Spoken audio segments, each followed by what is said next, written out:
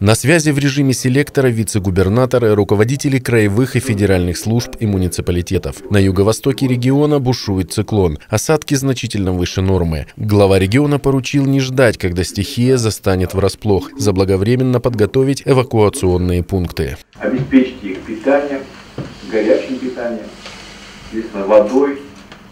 Помещения должны быть теплыми. Люди не должны ощущать дискомфорт от того, что их эвакуируют понятно, что душа у них будет дома, они будут переживать э, за их постоянное место жительства, но тем не менее жизнь дороже, жизнь дороже.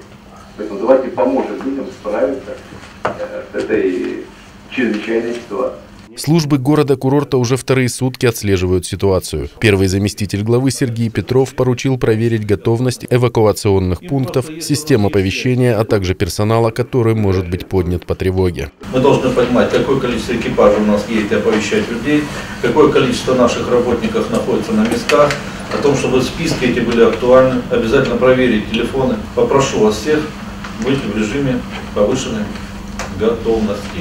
По оценкам специалистов, такой режим будет действовать до двух суток. По данным синоптиков, пока циклон движется в восточном направлении, противоположном от Анапы. Однако на побережье погода может быть переменчивой, а задача муниципальных служб – быть готовыми к любым поворотам.